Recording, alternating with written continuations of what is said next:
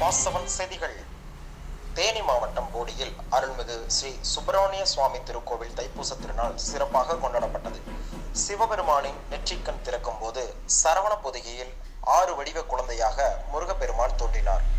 ஆறு வடிவ பாலகனாக இருந்த முருகன் கார்த்திகை பெண்களால் வளர்க்கப்பட்டு தாயார் பார்வதி தேவி தன் குழந்தை முருகனை கட்டி அணைக்கும் பொழுது ஆறு முருகனாக இருந்த முருகன் ஒன்று சேர்ந்த நாள்தான்.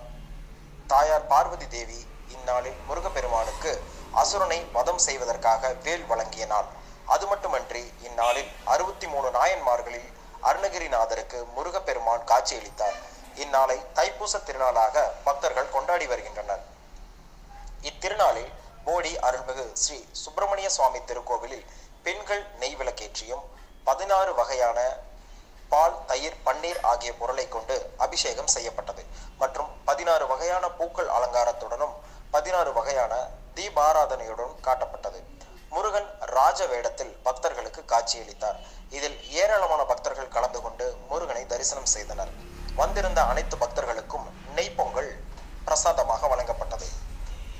ஃபாஸ்ட் செவன் நியூஸ் செய்திகளுக்காக போடியிலிருந்து எமது செய்தியாளர் யுவராஜா